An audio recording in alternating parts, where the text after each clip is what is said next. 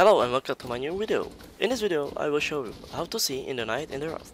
You don't believe me? This can work. So, let's start. First step, you will right click on your mouse on the dashboard and select Control Panel and Video. Second step, when the NVIDIA menu shows up, you will see Desktop Options, Stereotype and Video.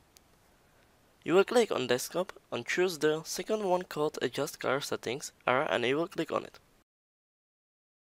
Third step, you will click on Apple Settings and Video, and you will set up your contrast 40%, brightness 100%, and gamma 2.80%. Yeah, and that's all. It's working, and I hope you enjoyed this tutorial, and I hope you will try it on your own.